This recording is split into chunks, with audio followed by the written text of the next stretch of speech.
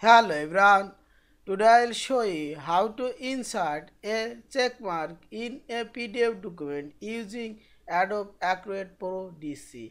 Firstly open your PDF document. This is my PDF document already open and click tools option. Here we will find fill and sign option. Click here and here we will find this checkmark option. Click here and drag your checkmark or put and click this option increase and decrease your check mark.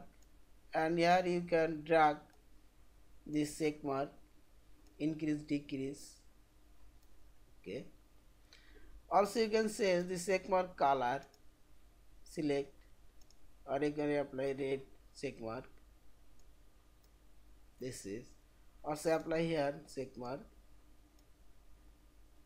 decrease and to change checkmark color this. And move here this. And finally click close option. This segment already applied. And finally click file option save as your pdf document. Thank you for watching. Please subscribe like share and comments